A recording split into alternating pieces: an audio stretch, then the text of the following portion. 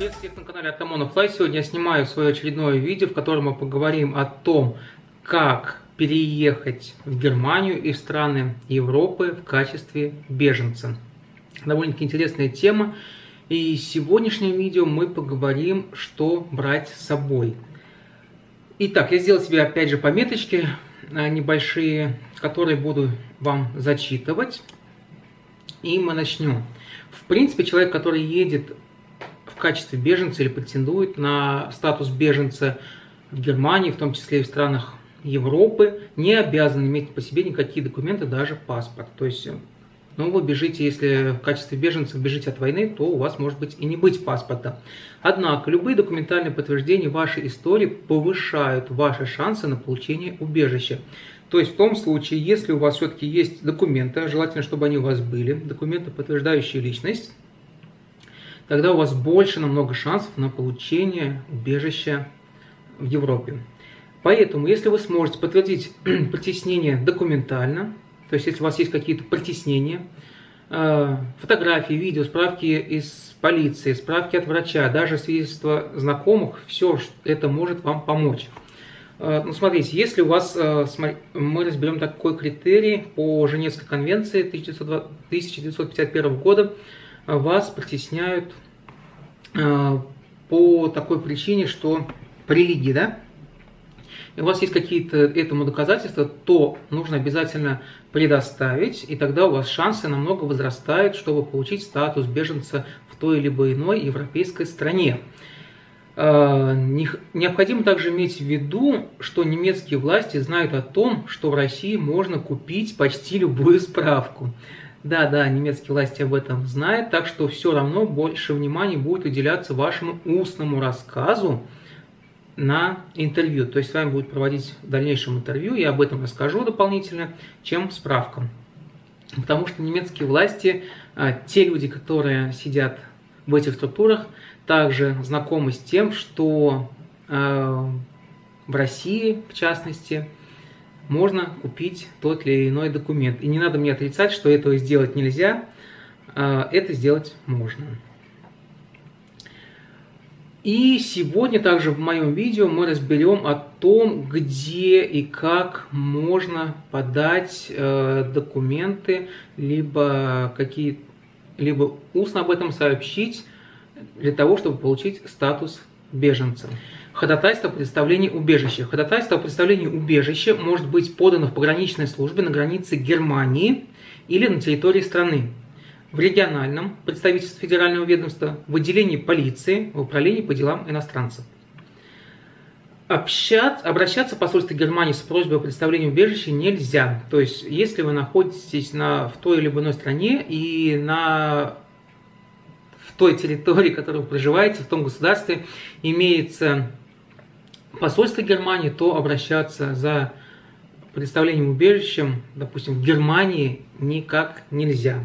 Если ходатайство будет подано в пограничную службу на границе с безопасной страной, а мы берем, если в этом нашем случае Германию, если вы хотите попасть в Германию в качестве беженца, и вы подаете ходатайство на границе, то, скорее всего, вам откажут. Почему? Потому что все европейские страны, а вы их уже пересекали, получается, когда ехали границы Германии, являются безопасными странами, и поэтому вы могли спокойно подать заявление, вот это ходатайство в другой любой безопасной стране.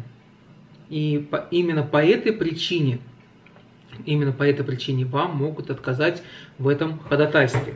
Сейчас мы разберем о том, как подать ходатайство по предоставлению убежища в Германии потому что все-таки мы в основном говорим о стране Германии, а также можете вы сделать э, по аналогу этого ходатайства для подачи в любую другую страну европейскую.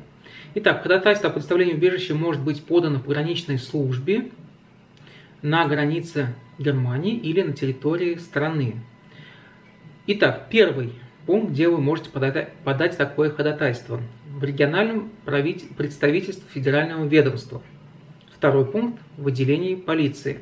Третий пункт – это в управлении по делам иностранцев.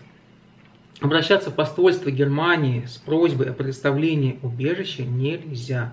То есть, если вы проживаете, допустим, берем Россию и хотите попасть в качестве беженца в Германию, для проживания в Германии, то вы не можете пойти в посольство Германии в России и подать такое ходатайство. Вам будет отказано. Нельзя этого делать. Это нужно запомнить. Если ходатайство будет подано в пограничную службу на границе с безопасной страной, все граничащие с Германией страны являются безопасными странами, и у вас нет немецкой визы, вы получите отказ на основании Дублинской конвенции. Это означает, что в том случае, если вы путешествуете по земле, а не летите самолетом, у вас нет возможности просить об убежище на границе. Просить убежище на границе можно только если вы прибыли в Германию самолетом.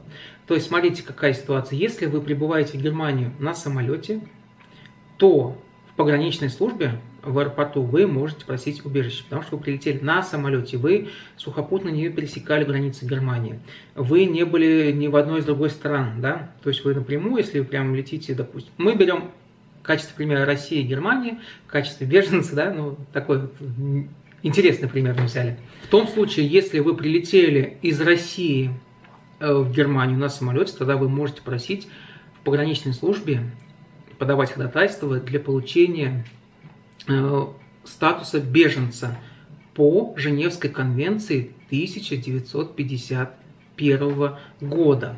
То есть вот на основании этой конвенции вы можете подавать это ходатайство.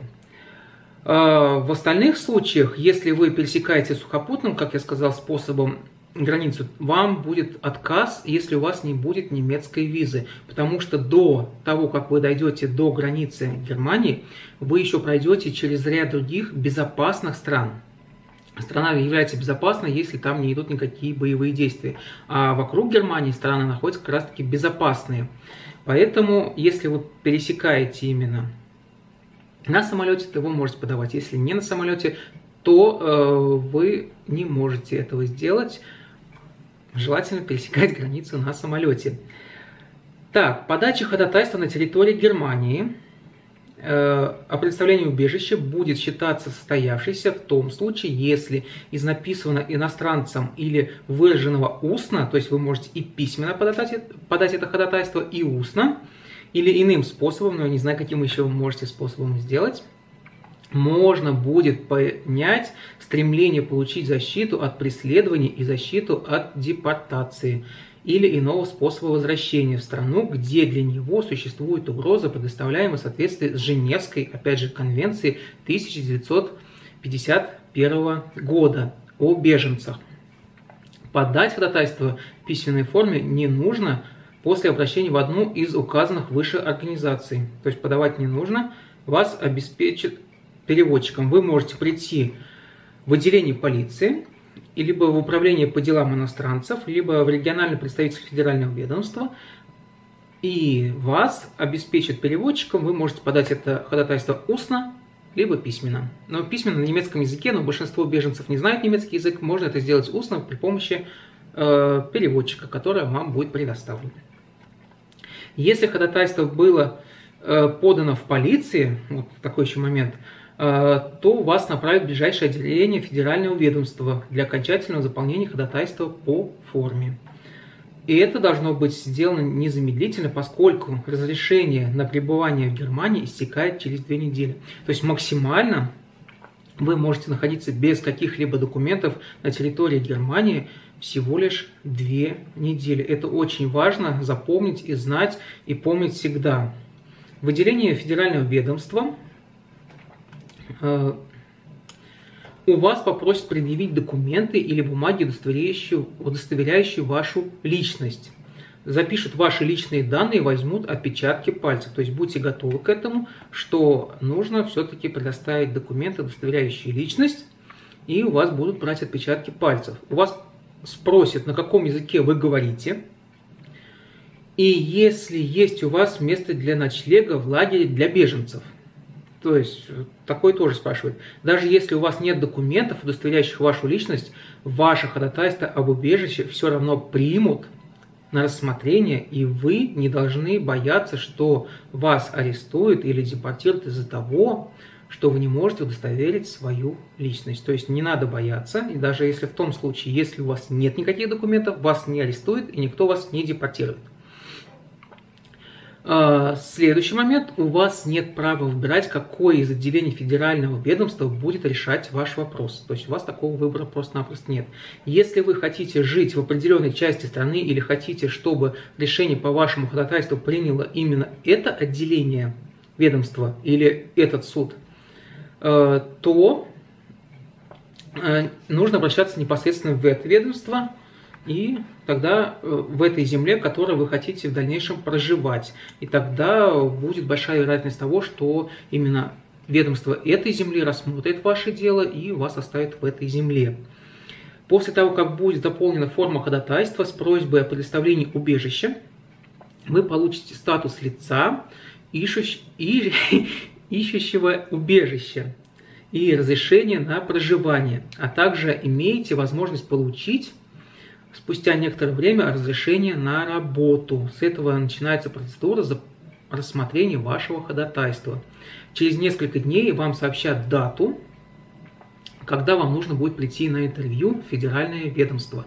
Но об этом мы с вами поговорим в следующем моем видео, как нужно э, готовиться к интервью, как проходит интервью. Все я вам расскажу в следующем своем видео. А сейчас я буду свое видео заканчивать. Если вам видео было интересным, ставьте пальцы кверху неинтересно пальцы вниз. Надеюсь, эта информация будет интересна для тех лиц, которые хотят переехать э, в Германию, в частности, либо в какую-то другую европейскую страну, но у них нет на это э, немецких, допустим, корней в качестве поздних переселенцев, или нет у них еврейских корней, да, либо они не могут это сделать э, по какой-то другой причине, тогда вам пригодится эта информация, Э, кто не подписался на мой канал, подписывайтесь, буду этому очень рад. На этом буду видео заканчивать. Желаю всем хорошего, всего доброго, до скорых встреч, без байт. Чус!